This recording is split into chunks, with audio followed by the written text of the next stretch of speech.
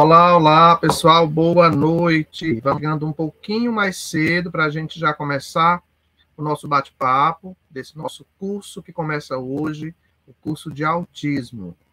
Hoje a gente inicia o quinto curso do semestre de 2023.1, né, fechando aí em junho um grupo de cursos, né, somando oito formações. Essa é a nossa quinta formação, o nosso quinto curso.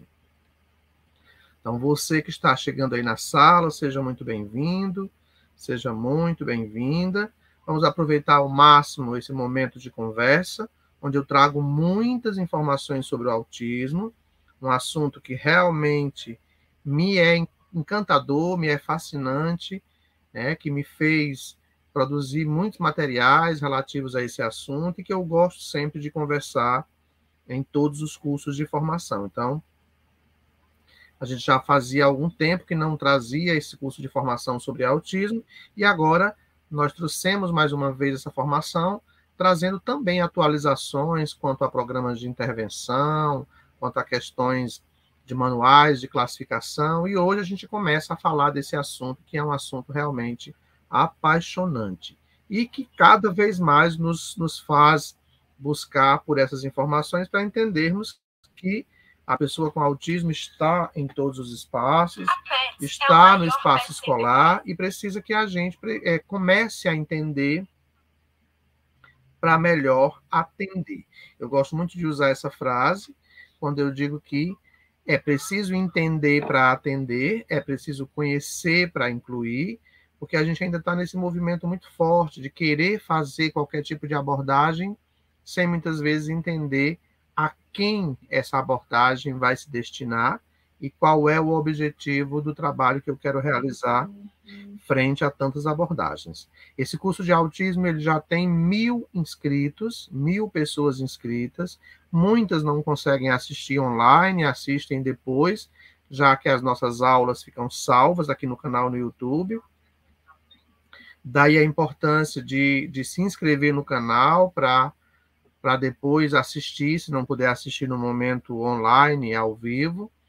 É, e lembrando que os nossos cursos são cursos que acontecem com, em alguns encontros virtuais, com um pouco mais de uma hora cada encontro, onde eu falo muitas questões sobre cada assunto. Após cada aula, eu mando para o grupo o material utilizado na aula, os slides em PDF, e para cada aula, é regra de todos os cursos online que você faça relatórios, resumos dos conteúdos que foram trabalhados nesses encontros virtuais. Então, para cada aula, você lê o material que é disponibilizado no grupo, faz relatório de cada aula e, ao final do curso, você encaminha os relatórios para o processo de certificação.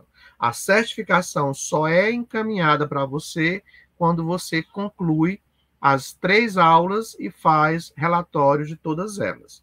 E aí sim é quando eu envio para você também pelo e-mail a, a, sua certificação, tá? Quando for enviar os relatórios, coloque seu nome completo para não demorar no seu processo de certificação. Coloque corretamente para não precisar refazer, tá bom? Bom, já demos tempo para que vocês pudessem chegar na sala. Um abraço aí para o Wilma, de São Miguel dos Campos. Eu estive lá em, em Maceió, em Alagoas, em São Miguel dos Campos, dando uma formação. Lúbia, de Juazeiro do Norte, né? E várias pessoas de todo o estado do Ceará. Então, estou sempre viajando, não só pelo estado do Ceará, mas para outros estados. Né? Eu estive recentemente em São Paulo, falando sobre autismo lá em São Miguel dos Campos, em Alagoas, falando sobre cuidador escolar, e esse trabalho de, de disseminação de informação acontece o tempo inteiro. Mas vamos aproveitar o tempo para que a gente não perca muitas questões interessantes. Deixa eu só voltar aqui para trazer o nosso o nosso material para a tela. Deixa eu ver aqui. Espera aí, deixa eu só trazer aqui a nossa informação que a gente quer trabalhar hoje, só um minuto. Pronto. Bom, a gente começa esse curso de formação de hoje, chegando um pouco mais cedo já na sala, é, para que a gente possa aproveitar ao máximo desse conteúdo, que é um conteúdo realmente apaixonante. Eu começo esse dia de hoje, 8 de março, parabenizando a todas as mulheres que fazem nossos cursos de formação, que são mães de pessoas com autismo, que são profissionais da educação, da saúde. Você, mulher, em qualquer condição de trabalho ou de vida, parabéns pelo seu dia. Mas, na verdade, o Dia da Mulher são todos os dias do, do ano. A gente está lembrando hoje porque é uma data realmente alusiva a esse, a esse dia, né? ao Dia Internacional da Mulher, mas o Dia da Mulher são todos os dias do ano. Assim como o Dia do Autismo não é só o dia 2 de abril, são todos os dias do, do ano, e assim se estende a todas as datas que a gente às vezes só comemora naquele dia e esquece em outros momentos. Então, parabéns a você, mulher, mãe, mulher profissional, mulher guerreira, mulher estudante, mulher que faz a diferença na vida de tantas pessoas, né? e que é tão importante aí com o trabalho que você realiza, ok? Bom, a gente está se aproximando do mês de abril. O mês de abril é o mês de alusão ao autismo. Eu até hoje vim com a camisa azul, com um crachá de identificação do autismo, para a gente entender que esse assunto é um assunto cada vez mais discutido, cada vez mais apresentado, e quanto mais a gente fala, parece que a gente menos sabe, porque é um assunto realmente intrigante. Para quem não me conhece, eu sou o professor Wilson Cândido Braga, sou terapeuta ocupacional, sou professor universitário, sou é, escritor, sou uh, coordenador e diretor da Mais Estímulos, essa é empresa que certifica os cursos de formação de vocês. Sou autor desses dois livros que estão na parte inferior, Autismo Azul e de Todas as Cores, e o Deficiência Intelectual e Síndromes Infantis, ambos pela Paulinas Editora. Tem um capítulo nesse livro, Educação Inclusiva e Educação Especial, e tem um, um capítulo também no livro Autismo, um Olhar por Inteiro. Esse ano sai o meu terceiro livro, TDAH, e também sai um capítulo meu sobre TDAH em um outro livro sobre TDAH também. Então, tenho dois artigos na revista Construir Notícias, está saindo um terceiro agora, e tenho dois artigos publicados no site do Vaticano. Quem tiver interesse em me conhecer um pouco mais, segue aí as minhas redes sociais, Instagram, e se inscreve aqui também no nosso canal no YouTube, ok?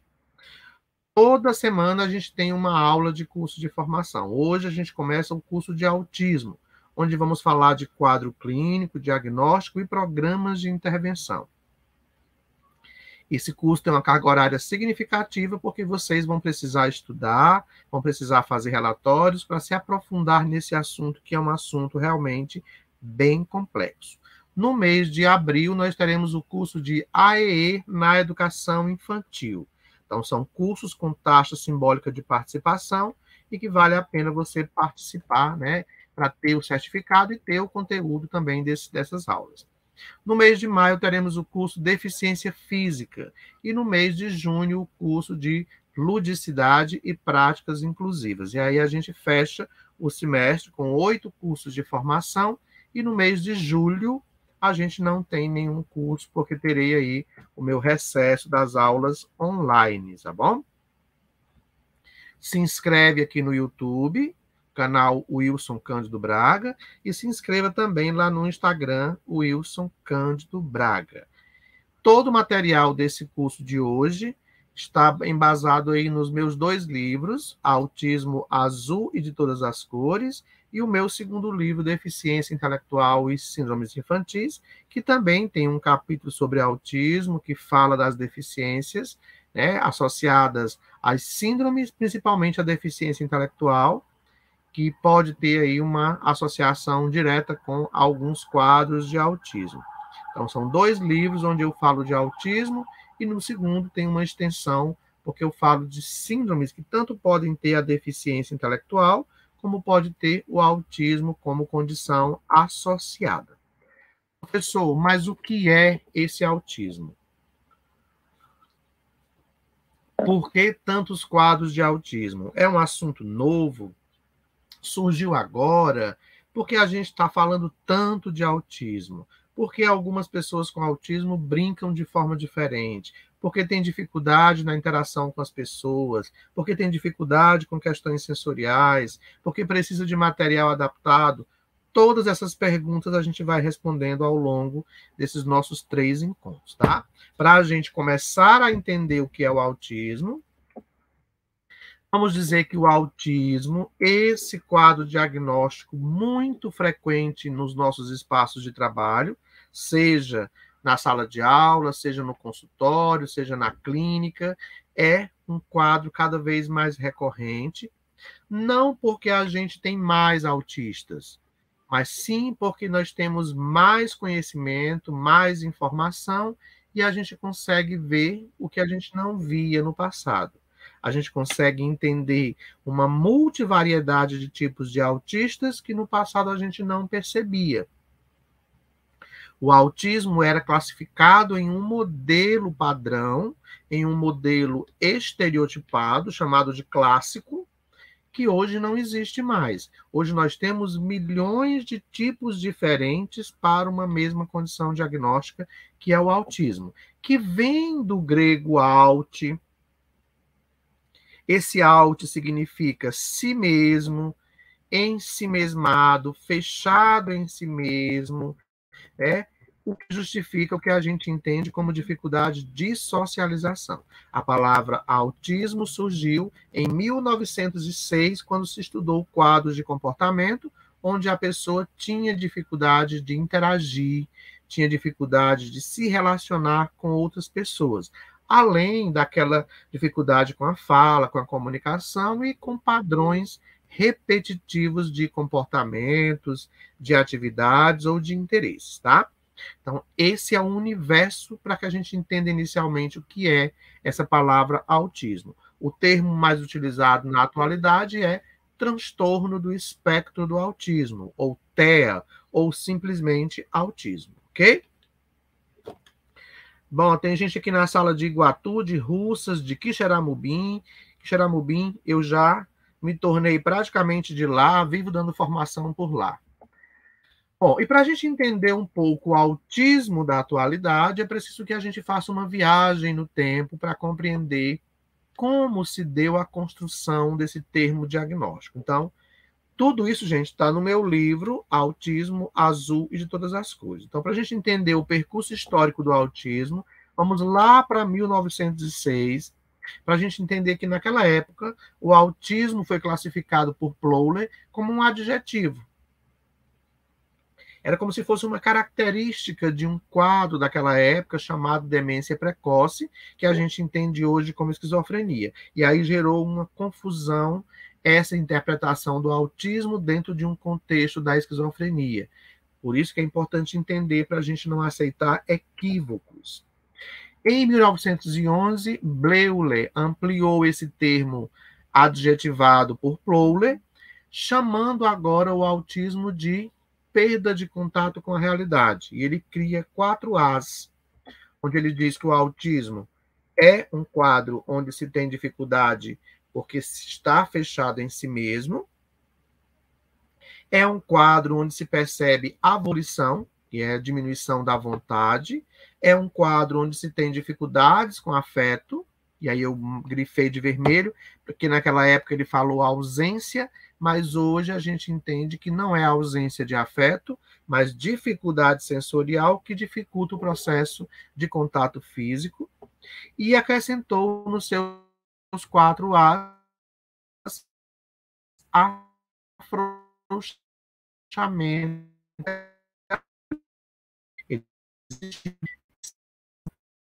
Daí, muitas vezes, havia uma certa dificuldade na coerência do que estava sendo colocado. Então, isso em 1911. 1900, até 1940, pessoas com autismo eram confundidas com quadros chamados de débeis mentais profundos, que a gente entende hoje como deficiência intelectual.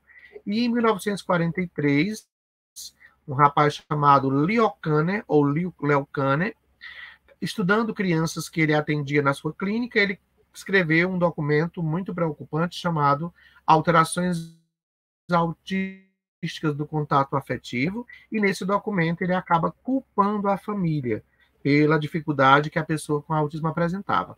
Mais tarde, ele entendeu que a família não era culpada e que o autismo era uma condição biológica, já nascia como sujeito. Hoje a gente entende que o autismo é neurobiológico, traz prejuízos no funcionamento cerebral.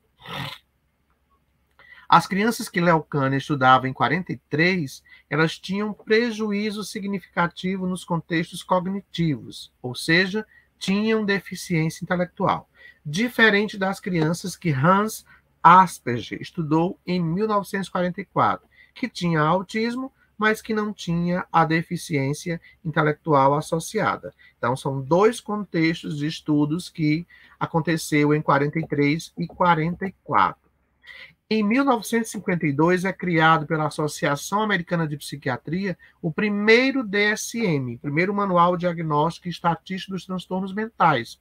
E lá nesse documento, o autismo ainda não existia como diagnóstico, ele era considerado um sintoma de um quadro de reação da esquizofrenia. Isso em 52, tá? Na década de 60, Bruno Bettelheim reforça aquela fala de Léo das mães geladeiras, das mães culpadas, e acaba separando as pessoas com autismo de seus contextos familiares, o que não modificou os quadros, e ele também não se desculpou por esse ato tão, tão ignorante ou tão equivocado, né? E ainda nessa década, um outro estudioso, o psicólogo Eric Schopler, ou Schopler, critica essa postura de Betline e acredita já nessa década de 60 que o autismo seja uma condição associada a uma situação de formação neurobiológica e não associado à culpa né, familiar. Nesse período, em 66, lá na Universidade de Chapel Hill, Carolina do Norte, Eric Schober cria um programa comportamentalista, que a gente vai falar um pouco mais à frente, chamado TIT. E esse programa, diferente do que se dizia anterior, ele inclui sim os pais no processo de reabilitação de suas crianças. Na mesma década, Iva Lovaz, psiquiatra americano, também inova, criando o método ABA, ABA, Análise do Comportamento Aplicada, que a gente também vai falar nas próximas aulas, que é baseado no princípio de recompensa e punição. ABA hoje é um dos métodos mais utilizados, ou programas de intervenção mais utilizados, mas que pode também não funcionar com alguns quadros. A gente vai dizer que o melhor programa de intervenção é aquele que a criança com autismo melhor se identifica. 1967, Reuter criou quatro características para diagnosticar a pessoa com autismo. Ela tinha que ter falta de interesse social, tinha que ter incapacidade numa linguagem responsiva, né, na capacidade de comunicação, presença de conduta motora bizarra, que é aquele padrão repetitivo, e esse quadro tinha que aparecer antes dos 30 meses, antes dos dois anos e meio. Hoje a gente continua com essa mesma classificação. Precisa ter dificuldade de fala, comunicação e interação social, precisa de ter presença de comportamentos com atividades ou interesses que têm um padrão de repetição e precisa estar presente até dois anos e meio, três anos, que é quando se tem toda a evidência para o diagnóstico do autismo, ok? Estou falando um pouco rápido desse processo da linha do tempo, para a gente não se deter muito a esses detalhes, mas que é importante a gente conhecer esse percurso histórico do autismo. 1968 é criado o segundo DSM, o segundo manual diagnóstico. E aí o autismo agora entra como uma esquizofrenia tipo infantil, ainda um grande erro da época. Só mais tarde esse erro vai ser corrigido. Na década de 70, a psicanálise começa a dominar a França e Fernando Deline promete, a partir da separação das crianças dos seus pais, curar o autismo, coisa que não aconteceu. Em 79, Lorna Wing e Judith Gold defendem a existência do espectro do autismo, não um tipo, mas várias apresentações diferentes. Na década de 80 é criado o terceiro manual diagnóstico, e o autismo deixa de ser chamado de esquizofrenia, deixa de ser chamado de psicose infantil e passa agora a ter uma caracterização própria. Ele torna-se entidade nosográfica. O que é isso? Passa a ser um diagnóstico com sintomas, com apresentação e com possibilidades de identificação. Na década de 80, o autismo faz parte de um grupo chamado transtorno global do desenvolvimento. Esse transtorno global do desenvolvimento traz vários tipos diferentes de autismo. E aí nós temos também na década de 80 um avanço nos estudos das neurociências, que começa a entender a partir de estudos que algumas áreas cerebrais podem estar alteradas na pessoa com autismo enquanto funcionamento. A mesma pessoa que estudou o autismo enquanto espectro, em 81, descobriu que a sua filha tinha um quadro diagnóstico diferente do autismo que a gente tanto conhecia, e ela, em homenagem a Hans Asperger, cria o termo síndrome de Asperger e cria o que a gente chamava até 2014 de tríade de Wing. O que é tríade de Wing? Autismo tem que ter dificuldade de fala e comunicação, dificuldade de interação social e presença de comportamentos ou interesses padronizados, repetitivos. Mais tarde isso vai mudar, porque vai virar díade.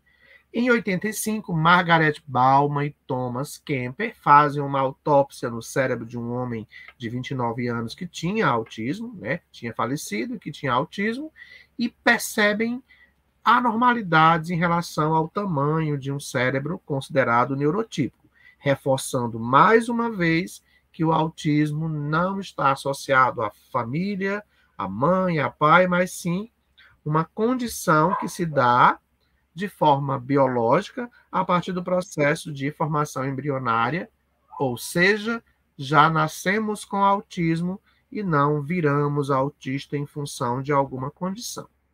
1985, Andy Bond e Lori Frost criam o programa PEX, Picture Exchange Communication System, comunicação pela troca de figuras, que é muito utilizado, vamos falar um pouquinho sobre ele também mais à frente, por profissionais da Fono, trabalhando programas de comunicação para crianças com autismo que têm dificuldade de falar. 1987, o DSM-3 ele é revisado, por isso DSM-3-R, e definitivamente o autismo deixa de ser considerado qualquer associação com esquizofrenia infantil. Década de 90, cientistas italianos passam a estudar outras áreas do cérebro humano e descobrem que os neurônios espelhos que a gente vai falar sobre ele, tão importante para a nossa primeira forma de comunicação, para a imitação, para a interpretação, eles estão menos ativos nas pessoas com autismo. Por isso, algumas dificuldades no tocante à comunicação. 1994, surge o DSM-4, a quarta edição do DSM e o autismo mantém-se dentro do grupo chamado transtorno global do desenvolvimento e agora ganha outros subtipos, síndrome de Rett, síndrome de Asperger e transtorno desintegrativo da infância. Em 2014, tudo isso pode mudar, tá? A Cleisa pergunta: crianças autistas não verbal, utilizando o PEX, passa a falar. Alguns podem vir a falar sim, tá? Mas a promessa do PEX é para facilitar a comunicação e não para desenvolver a fala. Mas algumas crianças podem, inclusive, é, desenvolver a fala a partir do programa de intervenção, tá? Uh, hoje temos DSM-5 nova versão, é verdade. Estamos já chegando lá, viu, Selma? Na verdade, chegamos. 2012, 2014, surge o DSM-5, quinta edição do manual, que dá origem ao CID-11, e o autismo agora. Deixa de ter todos esses nomes confusos que a gente falou até agora e configura-se dentro de um quadro chamado transtornos do neurodesenvolvimento e apresenta-se como transtorno do espectro do autismo, de acordo com o DSM-5, classificado como nível 1, que precisa de apoio, nível 2, que precisa de apoio substancial, e nível 3, que precisa de apoio muito substancial. A tríade de Wing, dificuldade de fala e comunicação, dificuldade de interação social e presença de comportamentos, atividades ou interesses padronizados, repetitivos, deixa de existir, e agora nós temos a díade do autismo, de acordo com o DSM-5. Dificuldade de comunicação social e presença de comportamentos com padrões de repetição. 2018, baseado no DSM-5, surge a nova edição do CID, CID 11. O DSM-4 tinha o CID 10 e o DSM-5 agora tem o CID 11. Então, tudo que a gente viu até anterior ao DSM-5 deixa de existir e o que vale agora é o DSM-5 e o CID 11. Professor, para que tudo isso nessa linha histórica? Para a gente entender que o que a gente tem do autismo hoje não é algo criado na atualidade, vem sendo construído desde 1906, a partir de estudos, de erros, de equívocos, de acertos, para a gente chegar onde a gente chegou agora. Uma classificação do autismo de forma clara, rápida, com diagnósticos menos demorado, com melhor percepção, com ampliação de estudos e disseminação de conhecimento, e agora o autismo é pauta de assunto para qualquer lugar. E a gente tem né, esse, essa facilidade, inclusive, de perceber algumas questões, tá? Classificação do autismo. De, depois de tudo isso, como o autismo se classifica? Bom, até o DSM-5, CID-10, nós tínhamos o autismo dentro de um capítulo chamado transtorno invasivo do desenvolvimento, no DSM-4, e quando vai para o CID-10, né, anterior ao que a gente tinha agora de documento, transtorno global do desenvolvimento.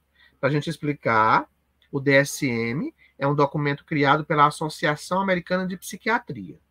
Esse documento ele vai para a Organização Mundial da Saúde, que vai ser colocado dentro do CID, que é a classificação internacional de todas as doenças, transtornos e dificuldades. Então, até 2014, nós tínhamos esses tipos de autismo.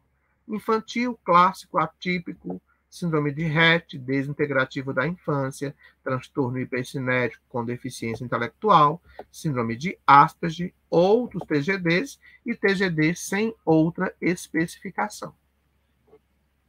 O que é que mudou com a chegada do DSM-5? É, Demorava-se muito para o médico ir eliminando esses subtipos para chegar num diagnóstico preciso. Isso às vezes chegava a 9 anos, 12 anos, e a criança ficava esperando para ser atendida porque o laudo não era fechado. A partir de 2014, com a chegada do DSM-5, e em 2018, com a atualização e divulgação do, do CID-11, o autismo agora passa a ter classificação mais clara. Então, o DSM-5 traz autismo leve, moderado e severo, que vai desde aquele que precisa de apoio até aquele que precisa de apoio muito substancial. E quando esse documento vai para a Organização Mundial da Saúde, o autismo agora é classificado como autismo sem deficiência intelectual ou com leve ou nenhum prejuízo de linguagem funcional. A mesma classificação com a deficiência. A seis autismos deficiência com prejuízo de linguagem, com deficiência intelectual e com prejuízo de linguagem, autismo sem deficiência intelectual e com ausência de linguagem, e assim sucessivamente. O que é que isso quer dizer? Que o autismo hoje quando o médico vai diagnosticar, ele se comunica, como é que está o nível de fala, linguagem e comunicação da criança, e a partir dos cinco anos ele vai classificar se existe ou não deficiência intelectual associada. Todo autista tem deficiência intelectual associada? Não. Tem autistas que têm, tem autistas que não têm. Mas mesmo aquele que não tem a deficiência intelectual associada, ele ainda pode ser imaturo nos comportamentos em função de várias perdas pela dificuldade de interação com as pessoas. Portanto, se faz importante no ato do diagnóstico, está lá no CID-11, dizendo que o médico precisa especificar o que tem junto do autismo. Não é só o autismo, ele tem, deve especificar se existe dificuldades na comunicação, se tem deficiência intelectual associada, se tem qualquer outra condição diagnóstica que pode estar associada ao quadro principal. Por isso que de seis em seis meses se faz importante que a mãe vá ao médico rever né, essa, essa consulta para ver como está o andamento do, da criança após os atendimentos de estimulação e o que está presente, que nem sempre é percebido nos primeiros anos. Por que, que eu falei? A partir dos cinco anos se observa a deficiência intelectual. Porque antes dos cinco anos de idade é complicado para o médico fechar um diagnóstico de deficiência intelectual, porque é preciso esperar que a criança avance em idade para ver se ela conseguiu né, também avançar no seu desenvolvimento global, no seu neurodesenvolvimento, ok? Então, essa é a classificação atual do autismo de acordo com o DSM-5 e CID-11. A gente tinha, então, laudos com F84.0 e agora eles vão aos poucos sendo atualizados para 6A02.0 até 6A02.5, que são os subtipos diferentes do autismo. Não temos mais aqueles nomes, temos apenas transtorno do espectro do autismo, que você vai observar se tem ou não a deficiência intelectual, e se tem nenhum prejuízo, prejuízo ou ausência de linguagem funcional, que é importante para o entendimento do processo de intervenção. A Cleisa pergunta se toda autista precisa de psicopedagogo.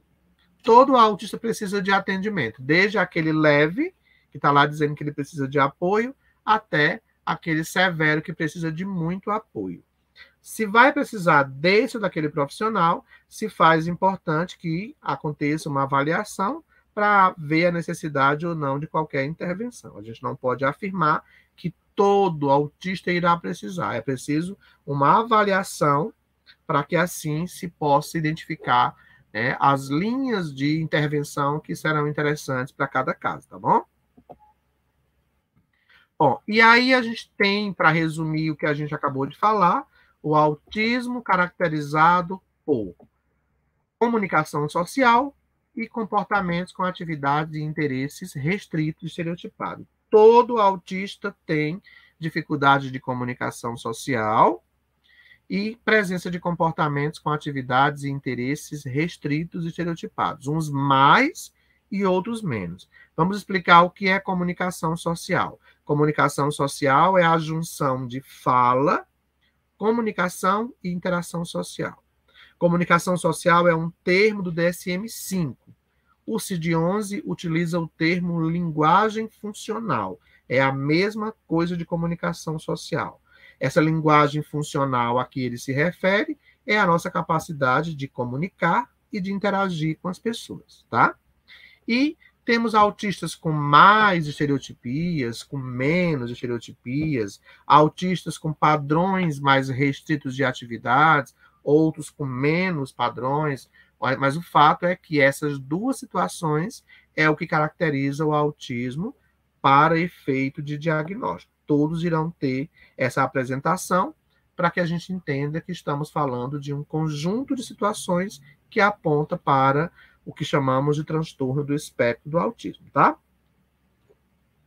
Bom, muitas questões ainda permeiam a escola, a clínica, a área médica familiar quando se fala de autismo, né? A primeira delas é diagnóstico do autismo.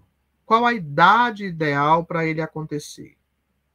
Como eu disse, até 2014 crianças ficavam numa, numa fila de espera, completando 9, 10, 12 anos para se fechar o diagnóstico.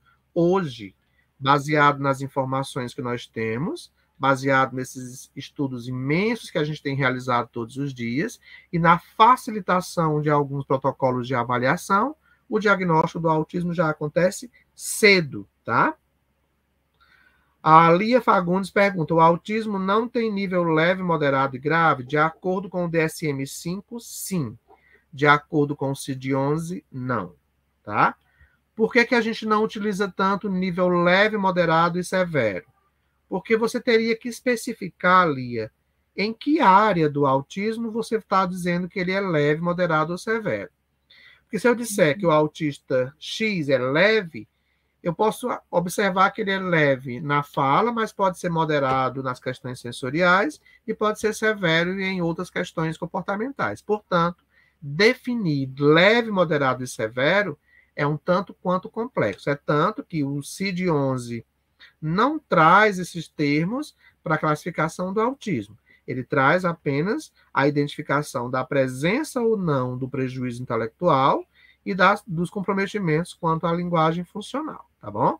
Esses três níveis, ele vem no, no CID-11, perdão, no DSM-5, mas no CID-11 não se fala de níveis de comprometimento. Se fala da presença ou não do comprometimento intelectual e das questões de prejuízo na capacidade de linguagem funcional, tá?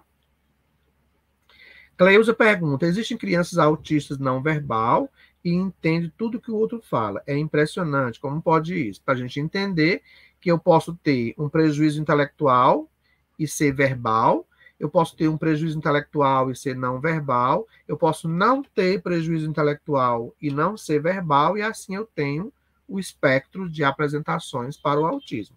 Portanto, cada autista é um autista em particular, tá?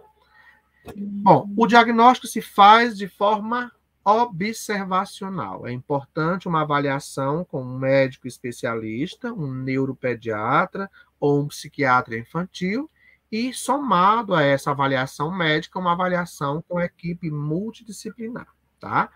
Então, se o médico sozinho fechar o diagnóstico, ele perde a oportunidade de ter outros olhares, terapeuta, fono, psicólogo, psicopedagogo, neuropsicopedagogo, psicomotricista, quanto mais profissionais envolvidos para identificar situações diversas, mais seguro será o uhum. fechamento desse quadro diagnóstico, tá?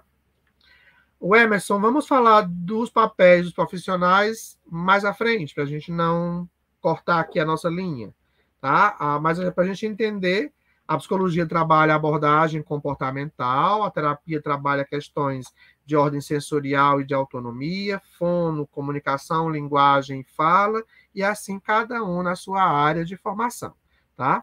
A gente não vai falar do papel de cada profissional, porque aí a gente teria que definir todas as áreas profissionais e ficaria né, uma lacuna aqui entre os conteúdos do autismo e esse discurso de do que compete a cada categoria. Mas é importante entender e quando eu falo de comportamento, de emoção, de afeto, é, de habilidades sociais, estou falando aí da abordagem do profissional da psicologia, tá bom? Bom, então, de posse da quinta edição do manual e do CID-11, nós temos agora um espectro de apresentação do autismo, e isso começa no processo diagnóstico a partir de uma entrevista com a família. Então, a primeira coisa que o médico faz quando vai fechar o diagnóstico, é uma entrevista com a mãe, uma entrevista com o pai ou com quem quer que esteja acompanhando a criança, tá? A Luciana pergunta: com dois anos e meio, é possível fechar um diagnóstico? Existem casos que até com um ano, a partir de um ano, já é possível fechar. Com dois anos e meio, a criança com autismo já tem tudo de apresentação sintomática para o fechamento do diagnóstico, tá bom? Isso, o nome já diz tudo, trabalham todo com a criança. O professor de AE ajuda com relatórios para fechar o diagnóstico do especialista, se a mãe levar a uma consulta. Ana Karine, a questão do AE é um pouco complexa, porque normalmente a criança com autismo só vai para o AE a partir dos quatro anos de idade.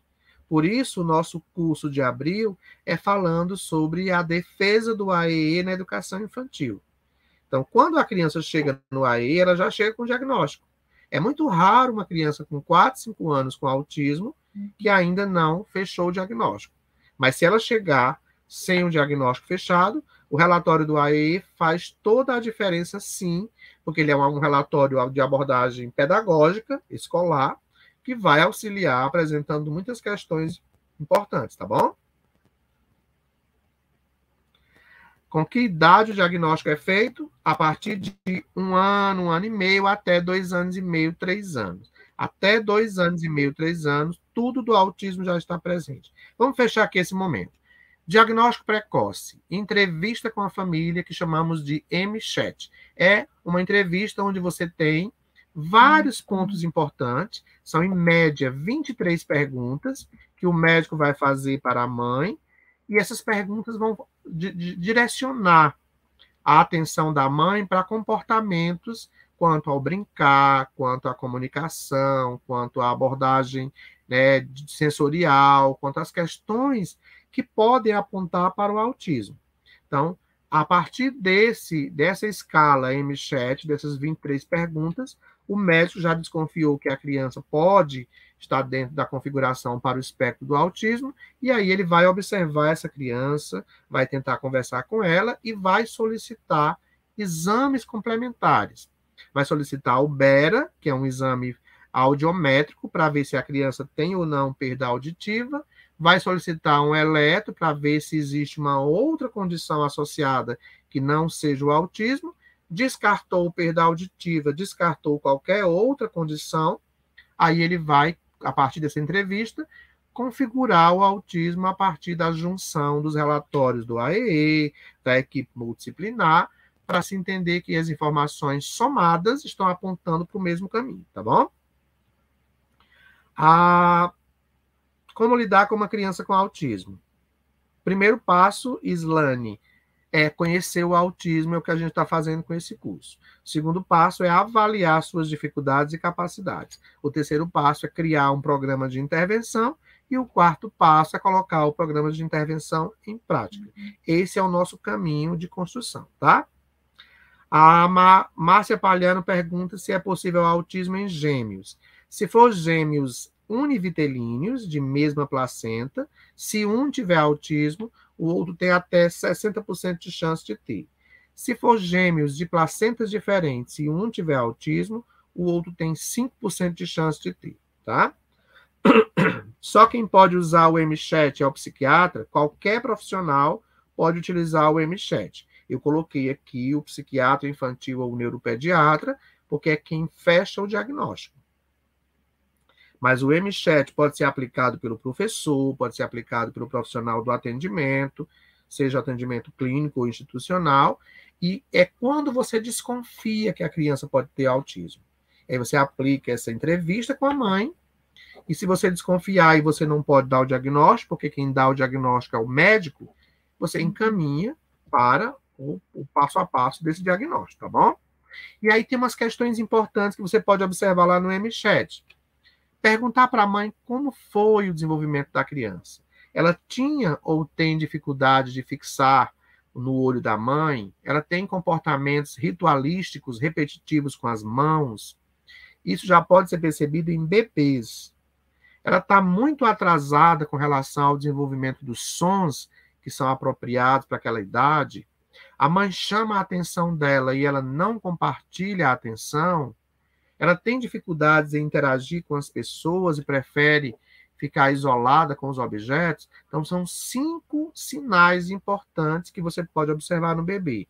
Ainda tem dificuldade com a sucção, a criança não mamou direito, tinha dificuldade com alguns alimentos, a criança chora no braço da mãe, fica quieta no berço, a criança acorda à noite com insônia, que pode ser calma ou agitada, a criança tem dificuldade sensorial muito recorrente de forma auditiva, tátil e tátil gustativa. Então, são muitos sinais que, quando você aplica o M7, a mãe vai lembrando de algumas questões que foram percebidas e que passou para ela não tinha tanta importância, tá? Diferente de uma criança neurotípica. Ela pode ter baixo contato visual, ela pode ainda não ter o sorriso social, né, que é esse compartilhamento com o outro, e pouco se engaja nas questões com outras pessoas. Por volta dos nove meses, a criança não consegue fazer troca comunicativa de turno. Ela tem dificuldade em trocar informações com o outro, ainda não balbucia, não olha quando chama pelo nome dela, é, e tem dificuldade em dizer o que ela quer, em apontar. Ela acaba muitas vezes até usando a mão do outro como ferramenta. Por volta dos 12 meses, um ano de vida, a criança ainda tem ausência de balbucio, não apresenta gestos, né, como dar tchau, soltar beijo, ainda não fala palavras corriqueiras, que já é para ter um repertório de palavras, e tem ainda dificuldade com a atenção compartilhada.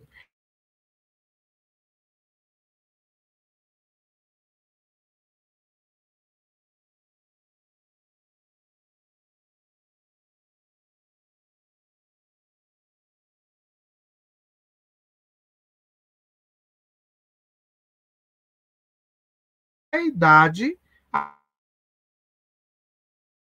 tem influência nesse aumento de autismo? Não. A, a Covid trouxe para nós isolamento social. Nós temos muitas crianças com atrasos na linguagem, na comunicação, mas que não se caracteriza como autismo. Tá? Então, só isso isolado não é autismo. É lógico que a gente passou a ter outras ferramentas que causou o nosso isolamento social e continuamos a, a ter ainda essa dificuldade. Ah, olha só, minha internet está ok. Vocês precisam sair e voltar de novo, porque às vezes é a própria internet de vocês que está com falhas. Aqui está tudo tranquilo. Estou acompanhando, inclusive, pelo celular. É, deixa eu dar um tempinho aqui para ver se vocês voltam, mas na verdade eu estou acompanhando aqui e a minha internet está sem interrupção, tá bom?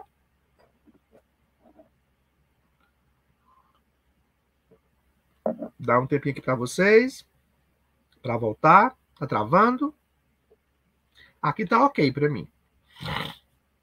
Então, voltando à, à fala da, da Márcia, na verdade, o Covid trouxe muitos atrasos para crianças de todos os tipos, com ou sem diagnóstico.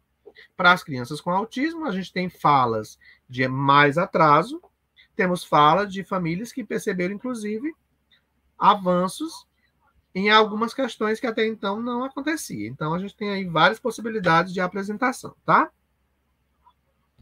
Deixa eu ver aqui como é que tá a internet de vocês, tá ok? Se, se a internet estiver ruim, você sai e entra de novo, porque aqui eu estou afirmando que está ok. Às vezes é a sua própria internet que pode estar ruim, tá bom? Tenta sair e voltar para ver.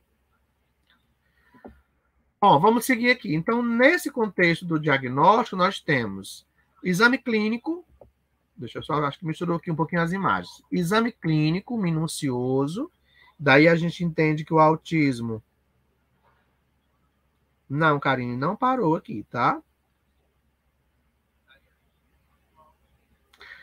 Exame clínico minucioso, observação, daí o autismo se dá de forma clínica e observacional, e é preciso que o médico seja um especialista na área. Se faz no processo de coleta de informação a aplicação da escala MCHAT, mas o médico faz uso das escalas do CID-11 DSM-5. E aí, quanto mais cedo esse diagnóstico é fechado, Quanto mais cedo se encaminha para o processo de intervenção, mais chance a criança tem de se desenvolver nessa abordagem multidisciplinar, ok? Após o diagnóstico ser fechado, alguns médicos também fazem uso de uma escala chamada escala CARS, que também pode ser utilizada por qualquer profissional. A escala CARS é uma escala onde você pode avaliar 15 itens diferentes do desenvolvimento da criança para entender qual o nível de prejuízo que ela tem dentro da condição do espectro do autismo. É uma escala liberada, você pode pegar na internet mas é importante que você faça uma aplicação minuciosa para não ter equívoco no resultado final, tá? Ela pode ser aplicada por qualquer profissional, só para que você identifique os níveis de prejuízo que a pessoa com autismo tem de acordo com cada área em que os 15 itens da avaliação vão apontando. Vai falar sobre comportamento, afetividade, relacionamento, é, comunicação, questões sensoriais, questões de repetição. Então, são situações bem interessantes que a escala CAS traz, tá? Ok com a internet, voltou? Tá tudo certinho? A minha aqui tá igual a da Cristiana, tá normal, tá?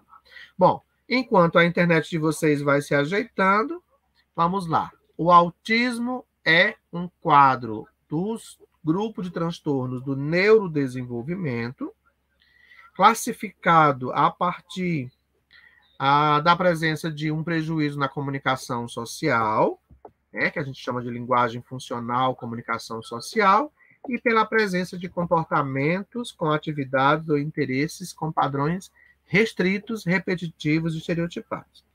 Cleusa, na internet tem a escala CAS, mas eu vou ver nos meus arquivos se eu tenho ela prontinha, e qualquer coisa eu mando lá para o grupo de WhatsApp, tá bom? Bom, depois de tudo isso que a gente já falou sobre o autismo, do percurso histórico de 1906 até 2023, né, agora, depois de toda essa classificação que nós temos de como se dá o diagnóstico, aqui a gente traz agora algumas dicas que podem ser interessantes para vocês. Primeiro, antes de falar, faz-se importante que a família promova a estimulação domiciliar. É importante que o adulto converse com a criança. É importante que os objetos utilizados no dia a dia sejam nomeados. É importante que as falas dos adultos sejam corretas evitando construções equivocadas. É importante que a criança seja estimulada para o desenvolvimento de sua atenção compartilhada, já que entendemos que a pessoa com autismo tem prejuízo nessa atenção compartilhada, e essa estimulação leva à melhora na observação e na imitação. É importante que a criança seja validada em suas conquistas e seja sempre encorajada a seguir em frente. É importante que a criança seja estimulada com contações de história. Ouvir é importante para a construção da fala. É importante que a criança seja estimulada a partir de vivências musicais. Isso favorece discriminação auditiva. E é importante que sejam oportunizadas vivências lúdicas. O brincar é extremamente importante para o desenvolvimento de uma criança com autismo. E esse brincar envolve também a participação da família. Antes de seguir falando sobre questões do autismo, é importante que a gente entenda algumas situações que podem ser percebidas de forma precoce e que se devem encaminhar para um profissional especialista. Então, como saber se existem atrasos ou dificuldades no processo de aquisição da fala de uma criança? Qual a diferença entre atraso da linguagem e atraso na fala? Pessoas com autismo podem apresentar dificuldades na linguagem ou dificuldades na fala, ou pode apresentar dificuldades nas duas questões, fala e linguagem.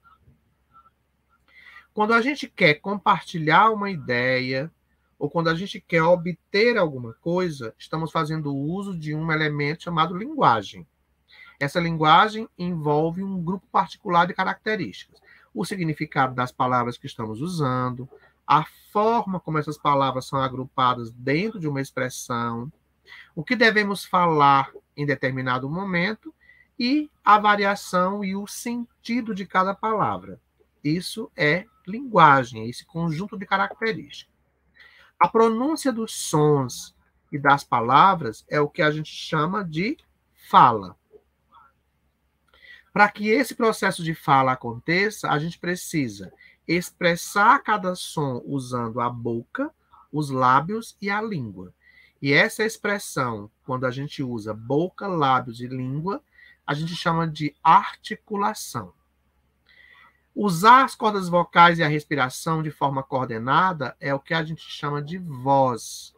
E desenvolver ritmo adequado na execução da fala chamamos de fluência. Então, linguagem vai para muito além da fala, já que a fala, por sua vez, é uma das formas de linguagem.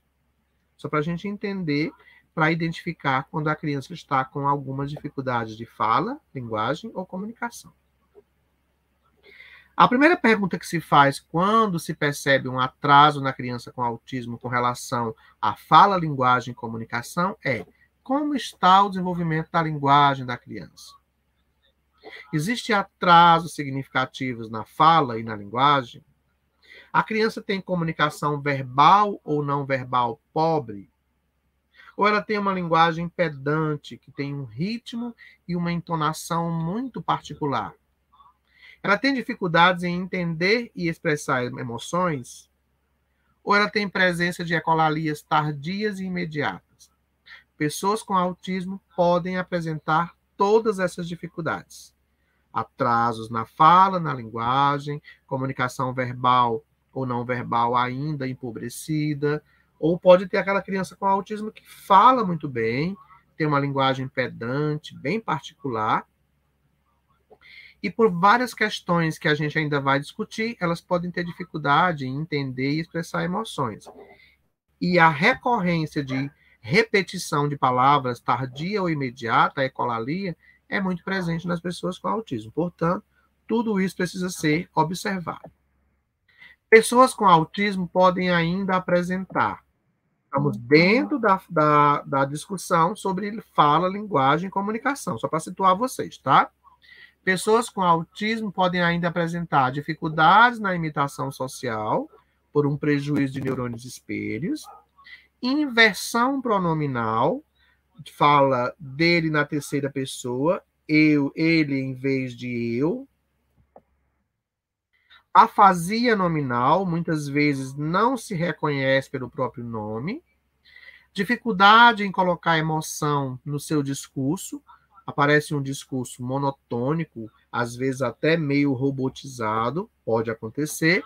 Fala de um único assunto, monotemática, hiperfocada, presença de interesse muito repetitivo, aquele hiperfoco, está dentro ainda dessa dificuldade quanto à comunicação. Dificuldade em interpretar sutis sinais de comunicação, é muito recorrente em alguns autistas, dificuldade de se colocar no lugar do outro para entender que o outro pensa diferente dela, quer coisas diferentes dela, que a gente chama de empatia. Não é a falta de empatia, mas a capacidade de entender que o outro tem um pensamento, um desejo que é diferente do seu. A linguagem não funcional é uma comorbidade do autismo, ok, sim. Tá? Baixa curiosidade social é muito recorrente nas pessoas com autismo, isso inclusive dificulta qualquer tipo de conversação. Dificuldade em narrar eventos passados, dificuldade em evocar informações guardadas, incompreensão da intenção das perguntas e das ações de quem está conversando com ele dificuldade na identificação de sutilezas né, e questões dentro de um discurso, como ironias, piadas, sarcasmos, duplo sentido, compreensão literal das palavras. Tudo isso dificulta o que chamamos de comunicação social, que é a capacidade de fala, comunicação e interação social. Todos esses prejuízos trazem dificuldades no que a gente chama de convívio social para usar da fala ou de qualquer outro meio de comunicação para interagir com as pessoas, tá? Como podemos estimular a linguagem funcional, a comunicação social de uma pessoa com autismo? Primeira questão é entender que essa é uma abordagem fonoaudiológica. É importante encaminhar a criança para uma avaliação com fono, e a partir dessa avaliação, o fono vai criar um programa de intervenção específico. Outras abordagens de estimulação podem acontecer, sim, mas a abordagem direcionada a esse fim é de ordem fonoaudiológica, tá? Estimulação continuada nos ambientes domiciliares, pela família, nos ambientes escolares, pelo professor, cuidador, colegas de sala, e nos ambientes sociais. Estímulos diários. É importante sempre perguntar para a criança como foi seu dia a dia, o que ela fez em momento anterior. Sempre verbalizar quando estiver em interação com a criança, mesmo que ela não fale. A verbalização se faz importante como elemento de estimulação. E dentro de uma sentença, evitar excesso de informações. Palavras em excesso confunde. Informação clara, direta, é muito mais funcional para uma pessoa com autismo. Seja pontual no que você quer. Utilize-se de recursos visuais. Pessoas com autismo são muito mais visuais do que auditivas. Use um comando por vez, isso facilita na compreensão. Em alguns casos, você pode inclusive utilizar o hiperfoco, aquilo que a criança gosta para ganhar a atenção dela. E aos poucos você vai colocando dentro desse hiperfoco outras questões que são importantes. Estimular a contação de história e atividades onde a criança possa fazer narrativas, possa se expressar, possa participar com você, perguntar sobre situações em que ela vivenciou na escola, o que ela comeu no café da manhã ou no almoço, para que ela possa rememorar situações. É um exercício bem difícil para ela, mas pode ser muito funcional enquanto estímulo. E permitir, em casa ou em qualquer ambiente, que a criança encontre uma forma qualquer de comunicação. Não é para ficar adivinhando por ela, é para deixar que ela encontre um canal de comunicação, tá? Pessoas com autismo podem ter como comorbidade algumas situações dentro dos chamados transtornos de comunicação. A, a Neuro orienta duas sessões semanal de fono para criança autista não verbal. Será que a terapia ABA tem que ser mais trabalhada nesse caso? Depende de cada situação. A gente não pode fazer afirmativas como se fosse uma questão generalizada, tá? Como eu disse, ABA pode ser muito importante, mas tem crianças com autismo que não respondem bem à aba. Portanto, a gente não vai tomar nenhum tipo de indicação como uma referência para todos os casos, tá bom? Bom, vamos fechar o momento de hoje falando um pouquinho sobre transtornos de comunicação, né? Para a gente entender o que é o transtorno de comunicação. A gente já mostrou que os transtornos de comunicação incluem dificuldades na linguagem, na fala e na comunicação. Fala é uma modalidade da linguagem a linguagem inclui a forma, a função e o uso de um sistema convencional de símbolos, e a comunicação inclui todo comportamento verbal ou não verbal, intencional ou não, tá? Então, o que se deve levar em consideração quando encontramos uma falha na comunicação? Então, essa investigação da capacidade de fala, linguagem e comunicação deve levar em consideração o contexto cultural e linguístico do indivíduo, e em especial aqueles que crescem em ambientes bilíngues. Por isso que se faz importante testes e baterias né, para se observar todas as questões, além da capacidade intelectual do sujeito. O que são os transtornos de comunicação dentro do DSM-5? Transtorno da linguagem, transtorno da fala, o transtorno da fluência com início na infância, a gagueira, o transtorno de comunicação social pragmática e outros transtornos de comunicação não especificados. Então, o DSM-5 traz algumas situações importantes que a gente não vai se deter aqui, só para a gente entender que está dentro dessa observação e vocês vão receber esse material para ter como assunto, né, como, como consulta em situações diversas. A, a gente não vai se deter nos transtornos de comunicação, porque é uma pauta mais prolongada, e assim a gente vai focar mais nas questões do autismo, tá? Então, aqui tem todas as questões de acordo com o DSM-5, dentro das condições de transtorno de comunicação, mas importante lembrar que esse conjunto de dificuldades pode estar presente sim na pessoa com autismo. Por isso que eu disse lá no início que quando o médico fecha o diagnóstico, ele precisa especificar o que está associado ao autismo enquanto condição comórbida. Esse autista tem dificuldade na linguagem, por isso que é importante que o médico solicite uma avaliação fonoaudiológica, tá? Não entendeu qual parte, Lia? Como é feito o trabalho ABA? A gente vai falar de ABA em momento pontual, tá? Não vamos nos adiantar com alguns assuntos. De acordo com cada abordagem aqui, vamos falar de um programa de intervenção. Todos serão falados ao longo das aulas. A Sara pergunta se é comum o autista ser sincero ao extremo. Sim, autistas não têm filtro. Essa dificuldade aí de, de fazer rodeios é bem complicada. São muito pontuais e diretos, são ao pé da letra mesmo, tá? Bom, de acordo com o DSM-5, o, os transtornos da comunicação envolvem transtorno de linguagem, fala, gagueira e comunicação social. De acordo com o CID-11, os transtornos da comunicação né, são os mesmos do DSM-5, só mudam a nomenclatura. Transtorno do som, transtorno do desenvolvimento da fluência da fala e da linguagem. São questões avaliadas pela fono, por isso que a gente não vai se deter em falar sobre esse assunto, mas só para pontuar que pode estar presente aí em alguns quadros de autismo, tá? Além da praxia de fala na infância, quando a criança tem o desejo de dizer alguma coisa, mas ela não consegue, né? Não consegue se articular para para essa emissão do, daquilo que ela deseja dizer. Por exemplo, na praxia de fala da infância, a criança quer falar algo, ela processa quais são as palavras que ela quer dizer e a ordem correta, ela pensa quais são os sons e a sequência de cada um deles, mas ela tem dificuldade nessa etapa né, de entender quais são os músculos da boca que devem se mover para falar, e depois a movimentação dos músculos acontece. Então, nessa, nessa etapa de entender quais músculos devem ser movimentados para dizer aquilo que ela planejou, acontece aí uma falha. Por isso que é importante que a fono faça uma avaliação para identificar se existe esse distúrbio da fala ou se é um transtorno qualquer de comunicação. Tá? A apraxia de fala na infância é muito recorrente, pode estar associado com autismo também, mas é importante uma avaliação com um profissional especialista. Ele vai identificar algumas questões interessantes, desde aquela fala de difícil compreensão, aquele repertório limitado de vogais, né? A quanto maior é a palavra, mais dificuldade a criança tem para se colocar.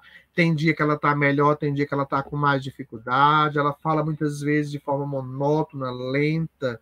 Ela fica procurando um ponto para articulatório para falar e ainda assim tem dificuldade. Ela tem um inventário pobre, né, um pobre domínio dos sons da fala, tem atraso no aparecimento das primeiras palavras, tem alterações em outros aspectos da linguagem. Então, são várias questões importantes que a fono vai avaliar para identificar se é uma apraxia de fala da infância ou se está dentro de um transtorno qualquer de comunicação que tem aí como comorbidade o autismo né, em situação particular. Portanto, são assuntos interessantes que a gente precisa conhecer para saber para qual profissional se deve encaminhar. A idade ideal para se fazer uma avaliação é a partir dos dois anos de idade.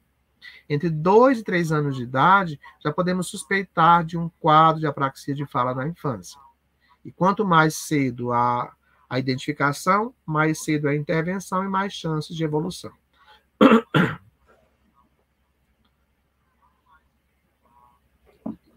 Então, a gente pontuou essas questões de transtorno da comunicação e apraxia de fala, a gente entender que são pautas significativas e que merecem atenção especial. Bom, para fechar o momento de hoje, a gente vai falar do primeiro programa de intervenção, já que falamos de dificuldade de fala, de comunicação. O primeiro programa de intervenção é o TIT. O que é o TIT? É um programa de facilitação da comunicação e da alfabetização de crianças que têm dificuldades na comunicação e na alfabetização. Em 1972, esse programa foi criado né, por Eric Schopler e ele é baseado na colaboração entre pais e profissionais. O programa TIT ele tem como destaque duas características: a adaptação de atividades, né, das intervenções às características do sujeito e o uso de experiências de ensino de forma estruturada. Então, na intervenção TIT, as habilidades dos indivíduos são avaliadas por meio de alguns testes padronizados. Os resultados da avaliação vão fornecer a base para o desenvolvimento de um currículo que será consistente de acordo com as necessidades individuais de cada paciente. Ou seja, a parte da, da dificuldade que eu percebi, eu vou criar adequações necessárias para que ele possa melhor compreender situações do dia a dia. Esse componente de ensino estruturado requer também um ambiente e atividades que sejam organizadas de uma maneira tal que possa otimizar o aprendizado da, da criança com autismo, evitando assim também que ela possa se frustrar por não conseguir compreender e executar atividades que são cobradas ou impostas a ela, tá? A Leia pergunta se a agressividade é sempre comum dentro do quadro do espectro autista. Não. Nem toda criança com autismo é agressiva, tá? Pode ser uma comorbidade, mas não uma característica. Então, de acordo com o TIT, tratamento incentiva a atitude independente das orientações. A abordagem pode ser aplicada em centro de tratamento, em escolas e em casa. Três fatores são essenciais nesse contexto do TIT: organização do ambiente físico, que seja de forma consistente, respeitando as necessidades do paciente, e aí entra a questão de observar o mínimo de elementos que possam ser distratores, que possam tirar o foco de atenção da criança. O segundo fator é o arranjo de atividades que sejam de maneira previsível, programas visuais, organização de rotina diária facilita a compreensão da pessoa com autismo no tocante ao seu dia a dia. E o terceiro ponto é a organização de materiais e tarefas que promovam a independência do sujeito nas suas orientações para atividades diversas. No ensino estruturado, a abordagem é baseada na observação de traços que aquela criança apresenta enquanto comportamento, que podem gerar dificuldades na sua vida social e em outros espaços. A ideia é compreender os efeitos das características do autismo na vida daquela pessoa e como auxiliá-lo a buscar mais autonomia em sua rotina dentro de casa e fora de casa. Augustinho pergunta: se o professor abrir o grupo, eu posso partilhar o PDF DSM-5 para quem quiser consultar? Augustinho, eu não, eu não aconselho que se compartilhe materiais em PDF de livros tá? É importante ter cuidado, porque nem todo livro é liberado em PDF. E às vezes se compartilha um material sem autorização da editora. E aí a gente não sabe, às vezes, como isso pode acabar, tá bom? O ensino estruturado vai concentrar esforços em alguns comportamentos importantes. Preferência do autista por informação visual, a sua dificuldade quanto a sequenciamento, integração, conexão ou derivação de detalhes, alta variabilidade na atenção, aquela criança que é muito distraída e em alguns momentos precisa focar sua atenção. Vai ser focado esse ensino estruturado nos problemas de comunicação, nas dificuldades quanto a conceitos de tempo, na tendência a se apegar às rotinas e em alguns impulsos muito intensos para se envolver em algumas atividades né, e até dificuldade de desengate, né, de sair de uma atividade para outra.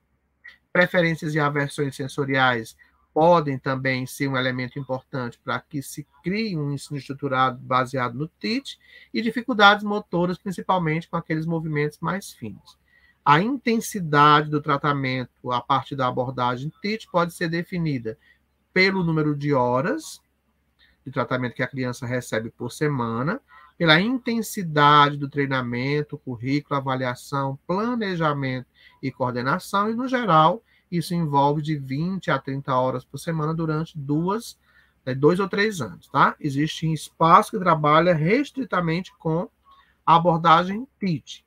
Outros espaços trabalham com outros programas de intervenção. Só para a gente entender que estamos falando de vários programas de intervenção dentro da abordagem do autismo, que a gente começou a conversar a partir da aula de hoje. Para não confundir com mais informação, já passamos de uma hora e dez minutos de conversa. Vamos deixar outro programa de intervenção para as aulas subsequentes, né? Na mesma turma. Quantos couber na sala? Olha só, Cleide, não existe limite de alunos com deficiência por sala.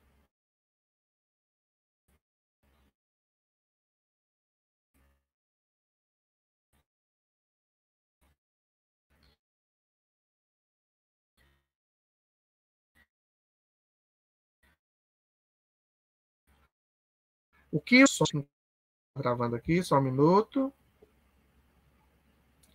Pronto. A Cleide, o que deve existir é o bom senso da escola quanto à organização do número de alunos com deficiência numa distribuição por salas. Algumas secretarias fazem matrícula antecipada para saber a quantidade de crianças com deficiência, fazendo uma distribuição por salas, para não deixar um quantitativo que seja ruim para ela, ruim para a turma ou para o trabalho do professor. Mas se tem vagas na sala, quantos chegarem têm direito de estar. Não existe limite. O que deve existir sempre é o bom senso quanto à organização daquele grupo de crianças de uma forma bem distribuída, tá bom? Ok?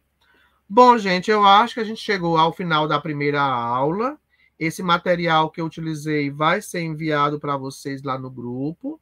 Eu espero que vocês possam ter aproveitado. Na verdade, o assunto sobre autismo é um assunto extremamente amplo a gente tenta resumir o máximo, mas ainda assim é muito material para a gente condensar em três momentos de encontro virtual. E olha que eu falo sem parar, eu falo sem respirar até. Mas aí é importante que vocês assistam de novo a aula, leiam o material que eu vou enviar para o grupo, para que assim vocês possam melhor compreender. Aquele, aquele é, conteúdo sobre transtornos de comunicação e apraxia de fala, eu não me detive com detalhes, porque é só mais para vocês é, terem como consulta. É, e a gente não, não é um assunto que a gente possa aprofundar aqui, porque a, a pauta é discutir de verdade os sintomas do autismo. A gente colocou ali dentro para entender que pode estar, sim, comórbido do autismo, junto do autismo, mas que a gente não se deteve a aprofundar-se naquele assunto. Mas está lá para que vocês possam consultar, tá bom? Daqui para frente, a gente vai continuar falando dos programas de intervenção.